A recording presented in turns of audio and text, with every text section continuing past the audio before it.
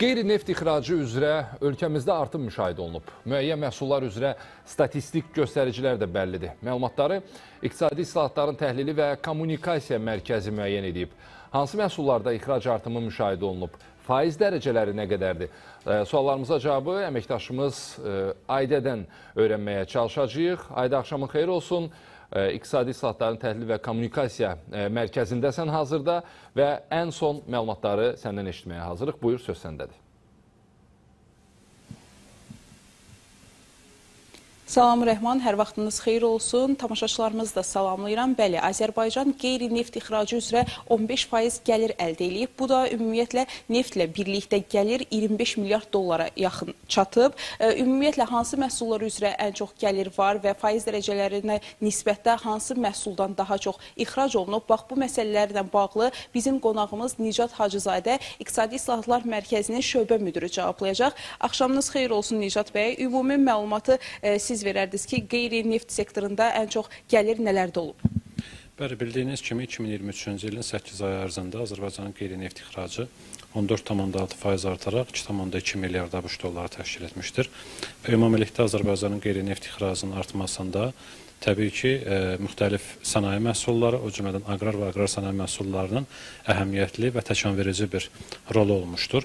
Xüsusilə də siz vurğuladınız Azərbaycanın qeyri-neft ixracının artımında əsas həll edici rolu daha çox üç məhsulu biz vurğulaya bilərik ki, bu elektrik enerjisidir, pomidor, yəni həm də tomat biz qeyd edirik, o cümlədən pamıq mahlacını biz qeyd edə bilərik. Təbii ki, bu məhsullar Azərbaycanın qeyri-neft ixracında nəinki bu il, ötən illərdə də əsas hərəkət verici qüvvə kimi öz əksini tapmışdır. Xüsusən də elektrik enerjisinə biz fikir versək, ötən illərlə müqayisədə artım dəfələ ifadə edilir və o deməkdir ki, Azərbaycanda elektrik enerjisi üzrə ixrac ötən illə müqayisədə kifayət qədər artmışdır. Bundan əlavə Azərbaycanın aqrar sənaye məhsullarında da biz artım görürük. Xüsusilə nəzərə alsaq ki, Azərbaycanda aqrar məhsullarının ixracı kifayət qədər çoxdur və qeyd eləmək istəyirəm ki, aqrar və aqrar sənaye məhsulları birgə yanvar-avqust ayları ərzində əsasən yarım milyard ABŞ dollarından daha çox olmuşdur bu 500 milyon ABŞ dollarından bir qədər çoxdur.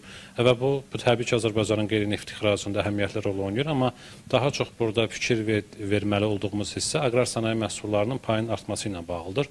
Və bildiyiniz kimi Azərbaycanın aqrar, ə, aqrar sənaye məhsullarını bircə götürsək, burada bitki və bitki mənşəli məhsulların payı daha çoxdur, amma Azərbaycanın qeyri-neft ixracının əsas hədəflərindən biri daha çox sənaye məhsullarının, xüsusilə də aqrar sənaye məhsullarının artımı ilə bağlıdır. Və biz bu ildən, ötən ildən etibarən e, statistik artımlara baxdıqda görürük ki, Azərbaycanın qeyri-neft ixracında aqrar sənaye məhsullarının həm payı artır, o cümlədən artım surəti də e, deməli xarici ölkələrə daha da çoxalır. Və təbii ki, e, digər məhsulların da biz payını vurğulaya bilərik ki, qara metallarda və digər ağır sənaye məhsullarında və digər məhsullarda bizdə kifayət qədər əhəmiyyətli artımlar var və ümid edirik ki, ilin sonuna qədər Azərbaycanın qeyri-neft ixracı ötən illə müqayisədə daha çox artacaqdır.